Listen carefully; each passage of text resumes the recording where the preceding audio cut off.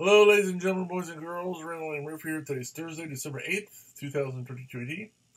And I've got this little guy here who's kind of cute and creepy all, all at the same time.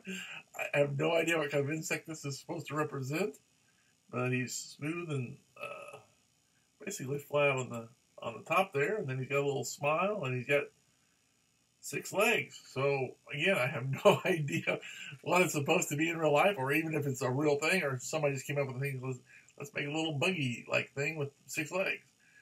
Not a clue. But uh, it's kind of cute and adorable in its own little way. And again, it's soft. It's very well made.